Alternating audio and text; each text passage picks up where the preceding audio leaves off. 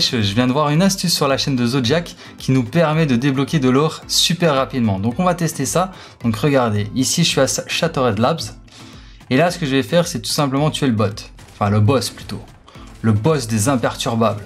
Pour lui voler sa carte d'accès au coffre-fort. Voilà, là je l'ai défoncé, je vais le finir tout simplement. Ok, donc dans sa vidéo, il casse les lingots d'or là. Et ça lui donne... Ah ouais, mais ça donne des lingots en fait, en vrai. Regardez, ça quand vous les cassez, ça donne des lingots. Ça, j'étais pas au courant, mais c'est trop stylé, ça vous en donne 15 par 15. Et lui, dans sa, vidéo, il utilise une technique qui construit tout simplement. Donc là, par contre, je peux pas construire. Ah si, si, je peux construire. Ah ouais. regardez, ça casse tout. Donc maintenant, je peux récupérer l'or. Mais c'est incroyable. 100, 135 d'or.